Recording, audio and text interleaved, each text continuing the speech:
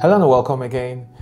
And this is an interesting series. Please take all you learn from here and apply it to yourself because I try to self improve and also work on things from my processes. This is not by any means the make all and be all, but it's just one of those experimentation that happens in my spare time that we get to like find magic and see how we can apply them to improve our imagery, our process, because it's a self journey of discovery. And on the table of today's discussion, we'll be discussing how we would like to take diffusion from the production workflow.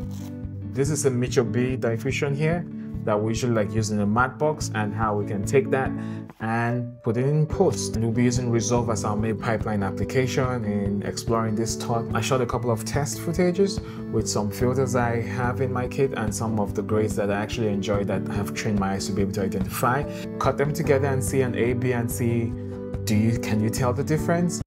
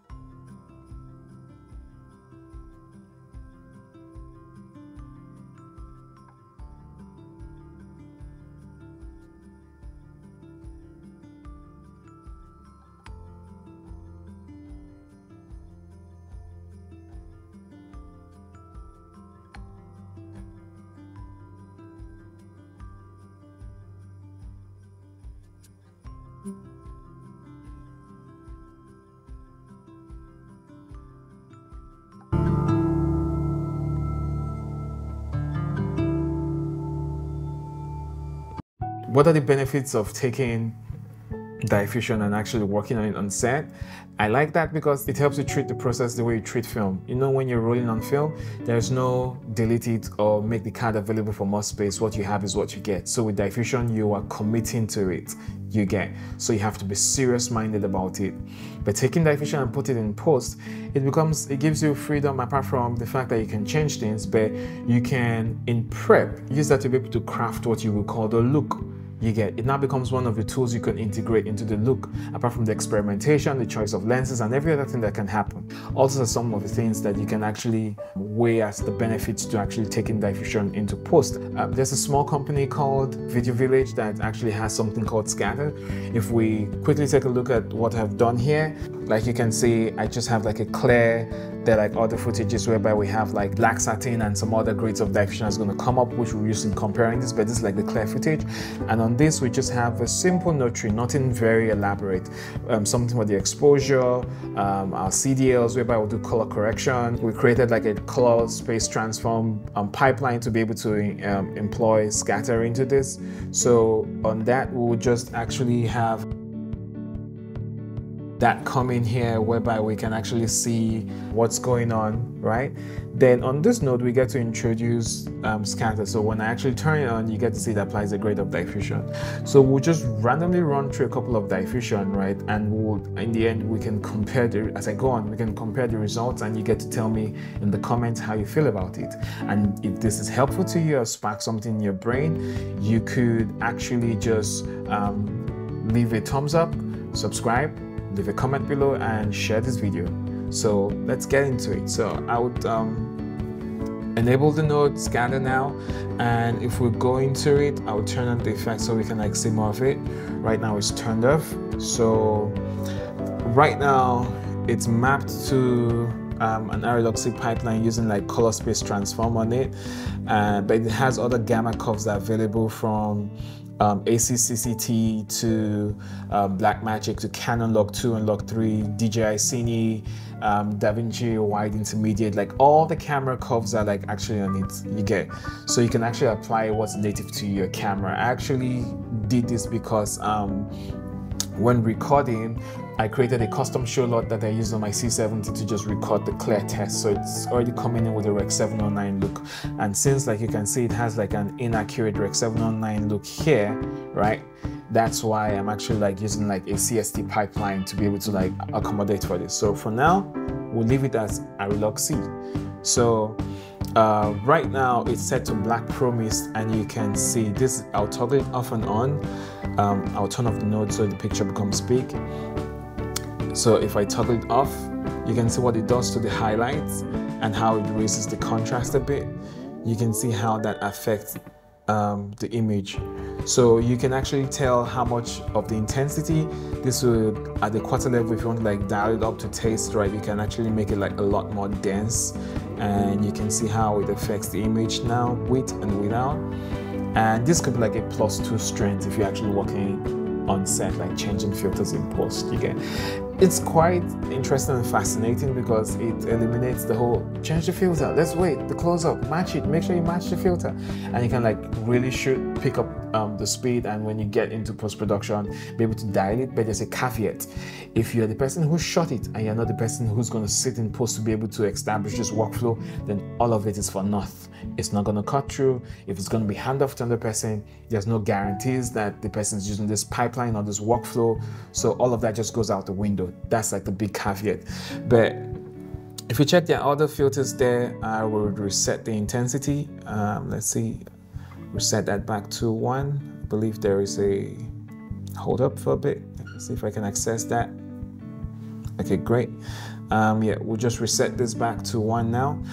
If we look at it, we have like black diffusion. We can go in and we have other effects like the black frost, what it does to um, the skin. And you also have um, focal length, which you can go in. This one we're shooting on a 43 so that was what it was because I used the dual lenses to be able to like make this test when I was working on this. Um, this was a 43 so you can match your focal length and with compression so you can actually be true to what you actually have and I left the frosted bob that we use like hairspray to make it look all dark and vintage to be able to also get some highlight into frame. Um, if you enable the highlight, you can choose how it behaves around that, what it does to the highlight, and what you can see what it does, how much of the color retention, what's the cutoff that happens there, what's the radius you get. So on the highlight recovery, we can get in more colors into it if we lower the cutoff and we can actually um, clip it off depending on what um, you intend to. It also has highlight adjustment. So if the highlight is really nooking out, you could actually work on how that actually um, plays around. But this was shot in such a safe manner that you could clearly almost not see um, the difference because if we crank that to like the top of it, you'll be able to catch more. But just getting back into most of what the filtration has in stock, we also have other options, right? Um, whereby you see the classic soft effects and it has like it has different strength. If i go to strength of one and if i turn it off and on you would be able to i could zoom in uh, okay there. Um, let's see if we can find yes yeah, so this with it on.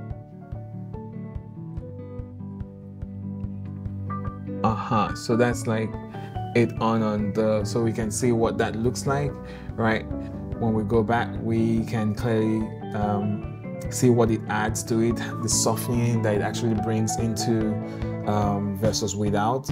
If we check other effects, such as one of the interesting ones that I actually like is smoke because it gives like this atmospheric presence. And I've been like messing around with it for a bit but this does not transfer into like um, a lookup table or some kind of detail that you can like bake into the camera no.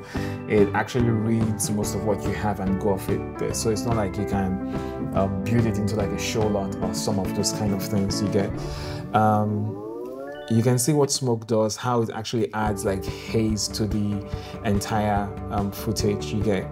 And you can see I just like by working the slider a bit you'll be able to like tell what it does.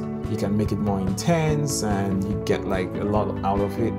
But what is what is funny about this is if this is actually this great because the only telltale sign you know something like this didn't happen because in real life if this was happening and you had like a hard source coming through maybe from the background girl it's going to create like a ray of beam but as the saying is it's going to set it out straight as though like there's this um, volumetric quality of light that's actually happening. So um, I'll just put up a bunch of footage between the clear and the smoke and the rendered footage so and I'll, I'll label them right with what was shot and what was against it. And you tell me in the comment do you think this is great enough to take into the field? Do you think it will suit into your workflow? So in the end it just comes down to preference taste and what works for you. You get the others like the Mitchell B um, diffusion you can see how it softens it a lot as opposed to like I'm whacking the slider. So I'll crank it up to the highest so you can probably catch it and I'll turn it off. You can see how it affects the sharpness of the footage. So if you're working with very sharp lenses, like you can like just dial it off to taste. Maybe there's like a split difference between a grade of B and a grade of C that you want to like explore. This gives you the opportunity to be able to do that. So tell me in the comments, it's gathered what to your attention? Does this speak to something that you would introduce into your workflow? Um, are there better ways you you found out it that I do not know? So please share me with me your process and we all get to learn together. But this is just something I've been tinkering with for quite a bit though. And let me know what your, what your thoughts and your take is on them. So, yep. Until next time when I get to see you, improvise, adapt, and overcome.